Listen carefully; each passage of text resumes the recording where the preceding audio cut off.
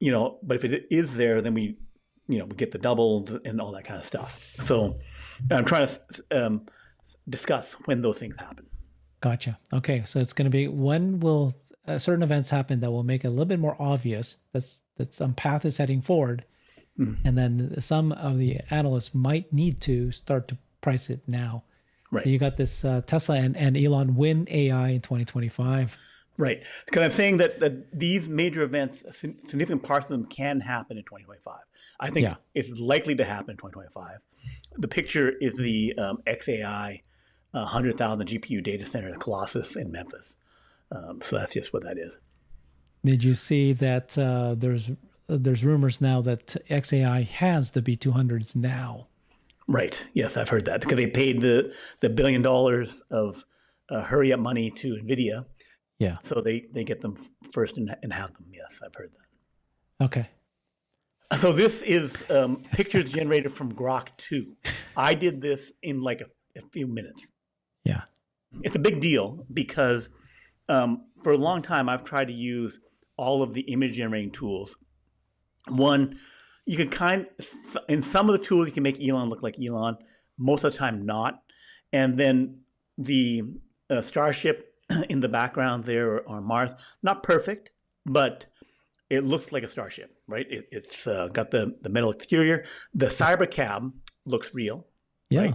It, it's like it was really good. I, I prompted once make Elon in the foreground, put a pile of money in the background, and a cyber cab and a starship in the background.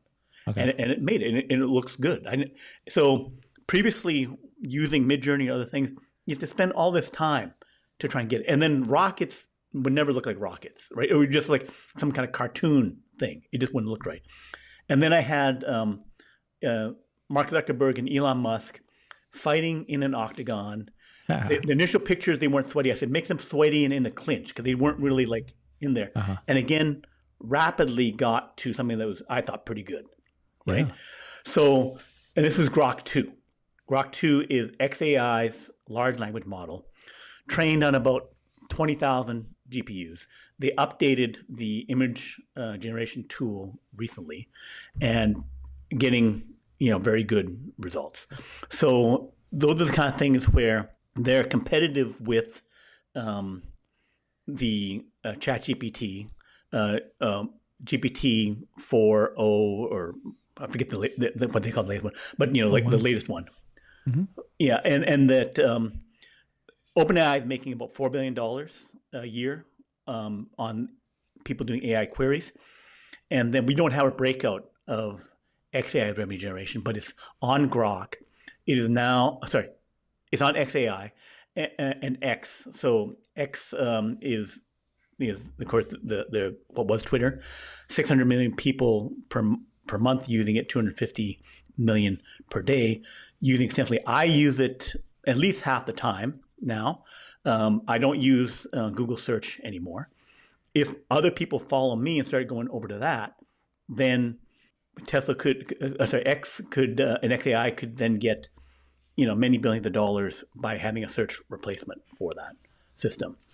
Um, so then we have four levels for XAI in 2025. Mm. They're about to release Grok 3. It's mm-hmm. going to be beyond GPT-5, and GPT-5 for OpenAI has not been released. They will not release it till at least May, according to uh, Kai-Fu Lee, Kai-Fu Lee is, used to be Google AI, and then he went and visited them and said, you know, they've had problems. They won't release GPT-5 until um, middle of uh, of 2025 at the earliest. Right. Um, and it will this according to um, Gavin Baker, manager of the four billion dollar fund invested in XAI. He says it will be you know shockingly good, hundred thousand chips, which is a bigger model. They had Wait, two. You're talking about Grok three. Grok yeah. three, right? So Grok three is going to be better than GPT four by by by January, like now. Right, right. It'll be way better than GP, all the GPT four four class models that we have now, and I think better than whatever GPT five will be several months later. Mm, right, okay. but we'll find that out January, maybe February, when when it goes out onto X. But they're as you're discussing, they're getting B two hundred chips. Grok four will be trained on the 200,000 H100s. So Grok 3 was trained on 100,000 H100s. Grok 4, 200,000 H100s. I believe they will use more days. So instead of 50 days of training, I think 100 to 150. So that would mean um, uh, four times to six times the training time for uh, the model. Plus, the expansion of the model helps as well to make it better. And that will be available in May. And then the B200 you talked about that they're installing yeah. now, now that would be Grok 5.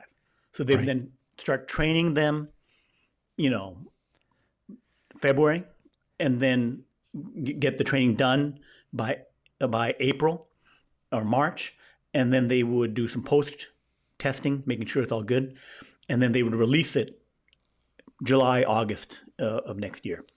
Um, the the huge thing that we mentioned before was that when they finish training Grok four, um, then they can give over those um, H100s to, to Tesla to Tesla and increase the training there. Yeah. Yeah. And then Grok 6, I expect they'll have 300,000 B200s um, put in there. If they train that model, that'll be 40 times the Grok 3 model. And Grok 3 is better than GPT-5. So beyond their competition, because un- unless Meta and and Microsoft, and OpenAI, and Google can install their data centers at the speed that um, in less than a year, in less than a year, they cannot get any new models trained with the, the large number of chips they have. Also, they they have to do the the technological magic that um, XAI did and Tesla did, where they had patents where the seven layers, uh, seven layers of the Ethernet protocol. So there's seven different layers of it. The bottom two have been hardware for you know decades. Um, Tesla and XAI rewrote the third and fourth layer into hardware to enable them to get a thousand times faster. You know, like instead of milliseconds, microseconds to do the response. Um, it's a, another complex talk. He probably had other videos where he discussed the patents on that.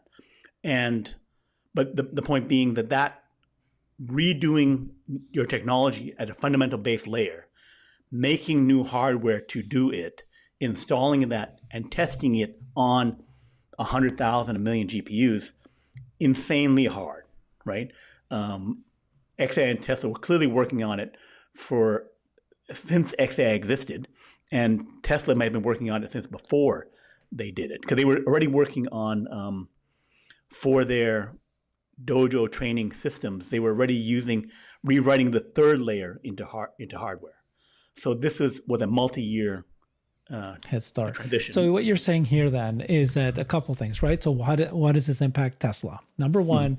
you're saying, and uh, people are pretty shocked at this when you explain them, that once G, uh, Grok XAI implements the B200s and they start working on that, they are able to give the H100s to Tesla. But also, right. we also know now, we found out now, that Tesla's FSD is being used on Grok's on, on XAI's supercomputers.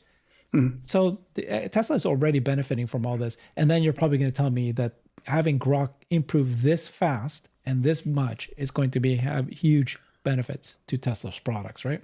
Right, right. Things like simulation that uh, if they need to simulate the world, that they can do that far better. We saw the pictures; they, they looked really good. They had some physics in there. They had shadows on the mm. uh, starship and that kind of thing. So the better they can do simulation, then the faster they can test FSD, right? And the, and the bot. Mm-hmm. And the bots, right? So some people make the stronger case that if I could perfectly simulate the bot, then I could put the software into the physical body and it would it would work. It's not quite that simple. There's stuff to it, but roughly comparable. That if I can do a full simulation of it, then the software for controlling the bot is clearly closer. Okay, that makes a lot of sense. So that's why they Tesla that. Now, of course, Tesla's also creating their own uh, Cortex, Giga Texas, mm-hmm. uh, but they're different, right? The one in Cortex is video, uh, mm-hmm. optimized for video. And this one's optimized for, uh, well, it's going to be everything. It's going to be everything. multimodal. So explain right. to me, like, I mean, can't Tesla already do it anyways on their own? supercomputers? Well, uh, they're basically working together, right? So the the fact that um, you know each of the teams, like we've, we've seen that in the um, um, Walter Isaacson book, where yeah. Tesla's people go to each of the yeah, companies, any company, any company to work on any problem, right? Yeah. And so if they're both Tesla AI and XAI, they're they're working hand in glove.